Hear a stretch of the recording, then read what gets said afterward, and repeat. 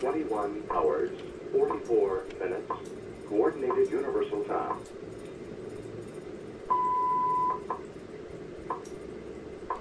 That's the uh, experimental Nixie clock that uses the 8422 tubes. And it's been right there doing just like that for 15 years now. And one day it's going to get built into a nice case. And here's the table that it's on. It's got a lot of other stuff for the step.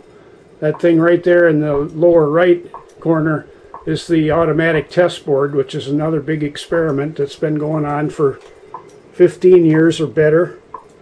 And here's the power supply in this dark corner that's uh, regulated 170 volt and 5 volt for this whole table of stuff here.